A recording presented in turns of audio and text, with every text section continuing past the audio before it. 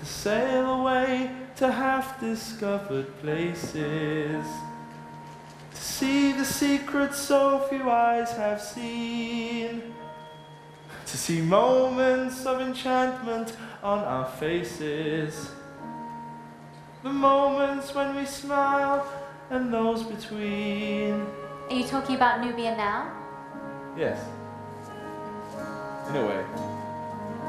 I could leave this place, then I'd go sailing to corners of my land where there would be sweet southern winds of liberty prevailing. The beauty so majestic and so free.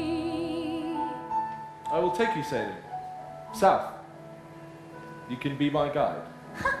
Would you let me steer? Would you run us aground? Oh, yes, wherever there are no people. I'd jump off the boat, I'd kick off my sandals, and I would run. And there'd be no one there to scold me or to tell me to behave like a. to behave.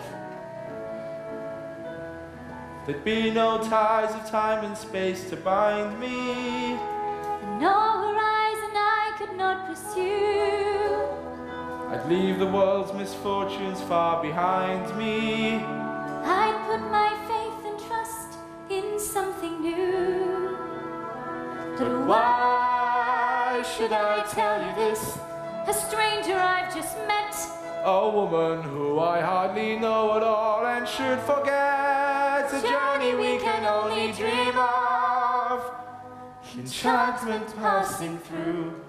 And how is it I say these things so easily to you? This is meaningless. I'll never take you sailing. I'm never going to leave Egypt again. Instead, I'll sit on a throne and send other men off on their expeditions. You talk as though you've been enslaved. Not with chains, maybe, but a marriage promise.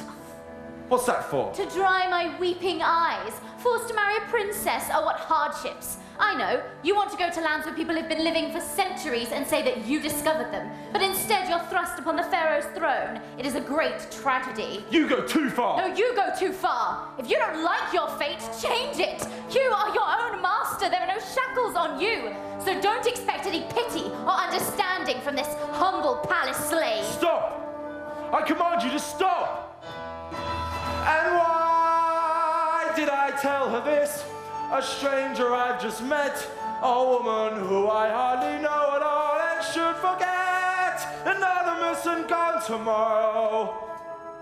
Enchantment passing through, and all I've done is tell her things that she already